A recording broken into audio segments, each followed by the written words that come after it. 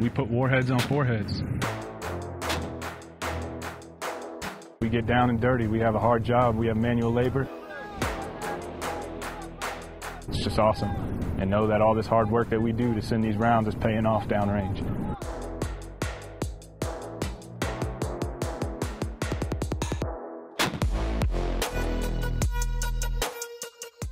Every round that we have here has a purpose to it.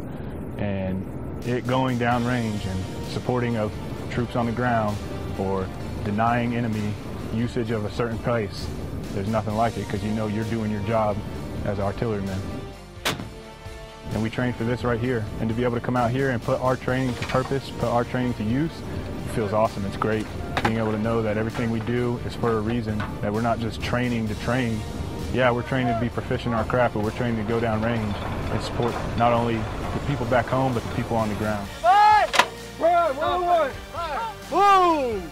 It's just awesome because there's only a certain amount of people that can join the Army and wear this uniform. And to be able to do this for everyone else that can't, there's nothing like it.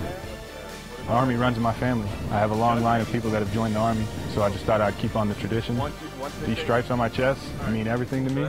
It tells me that I, every morning that I look in the mirror, I see that I'm wearing stripes and that I'm a non-commissioned officer and I'm a leader of soldiers, and that's what I'm going to do for my soldiers because my main job is to train and take care of the welfare of these soldiers. If they're in harm's way, I will put myself in harm's way to protect all these soldiers so they go home to their families and see their loved ones.